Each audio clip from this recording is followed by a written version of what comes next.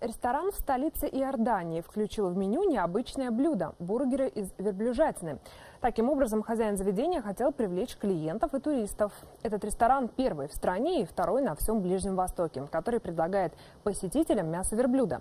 И иностранцы, и любители гастрономической экзотики из числа местных жителей идею оценили.